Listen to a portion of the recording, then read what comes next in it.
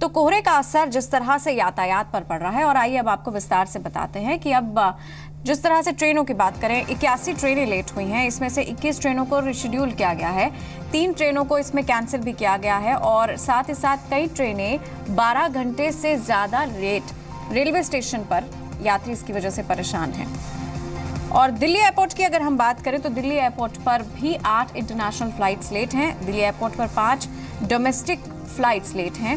तीन international flights को इसमें डाइवर्ट किया गया है। वहीं कोहरे के कारण विजिबिलिटी कम है और ऐसे में हादसा होने का भी खतरा है।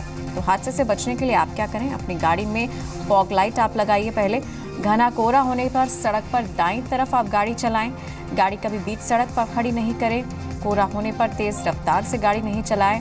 और सीट बेल्ट का अपना इस्तेमाल करा। कुछ बेसिक बातें हैं जिनका आप ध्यान रखें तो बेहतर है। कोरे की हालत में आप नशा करके गाड़ी नहीं चलाएँ और गाड़ी गाड़ी चलाते वक्त मोबाइल फ़ोन का इस्तेमाल नहीं करें ओवरटेक करते समय जल्दबाजी नहीं करें। तो ये कुछ छोटी छोटी बातें हैं जो मौसम की मार से आपको बचा सकती हैं अगर आप थोड़ी एहतियात बरतें। और अब आज सात तारीख है और महीने की वो तारीख है जब प्राइवेट सेक्टर में काम करने वाले लोगों को सैलरी मिलती है। आज निजी क्षेत्र में काम करने वाले लाखों लोगों को सैलरी मिलेगी। लेकिन सवाल यह है कि क्या सैलरी सिर्फ़ बैंक अकाउंट में ही आएगी या फिर आपके जेब में भी आएगी? ये सवाल इसीलिए क्योंकि आज नोटबंदी का 28वां दिन है। लेकिन 28 दिन बाद भी हालात जस के तस हैं। बैंकों और एटीएम के बाहर रोज लंबी लाइन दिखती है। हर आदमी कैश के लिए परेशान है। बैंक दावा कर रहे हैं कि लोगों को नए नोट देने के लिए पूरे इंतज़ाम किए जा रहे हैं, लेकिन हर शख्स की परेशानी यही है कि उसे ज़रूरत भर पैसा नहीं मिल पा रहा।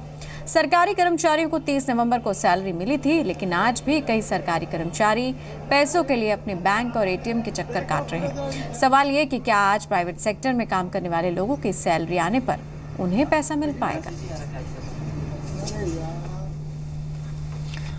और रांची के जिस स्कूल को बिहार झारखंड के पहले स्कूल होने का गौरव मिला है, वो स्कूल आज अपनी बदहाली पर आँसू बहा रहा है।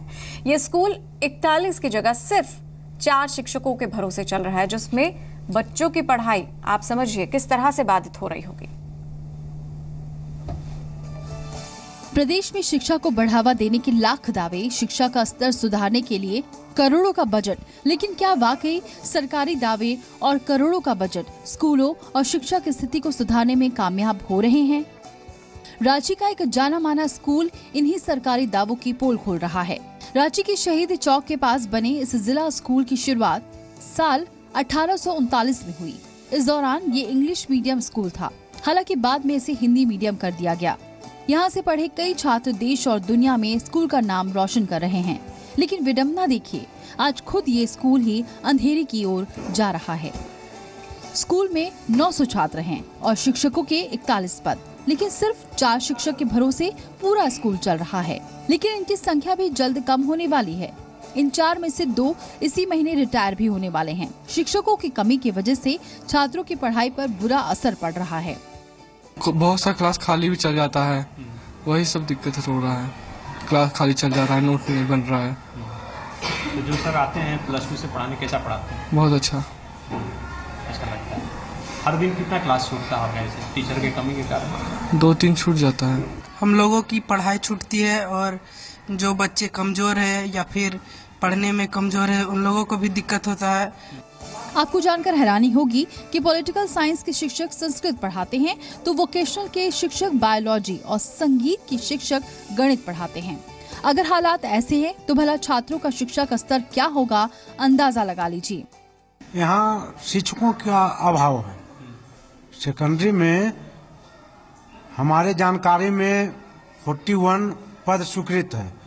आप 41 के जगह पे अभी मात्र चार शिक्षक हैं सेकेंडरी में। तो सेकेंडरी का भी क्लास प्लस टू के शिक्षकों के सहयोग से ही चल रहा कुल अंग्रेज़ी हाई स्कूल हुआ करता था और उसी हिसाब से ये पुस्तकें थी।